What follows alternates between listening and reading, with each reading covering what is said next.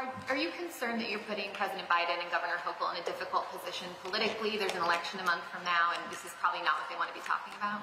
Uh, no, not at all. Uh, I think that my conversations with the White House, uh, my conversation with the president uh, last week, uh, a week and a half ago, you know, Mayor has dog years, you know.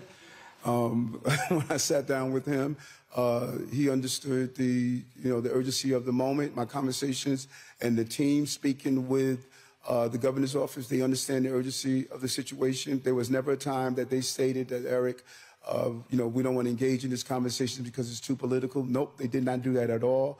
They understand that this is an urgent situation and New York needs help.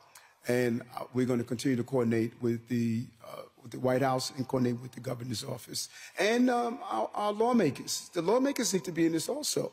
Uh, you know, the, the leaders of um, the Senate and Assembly.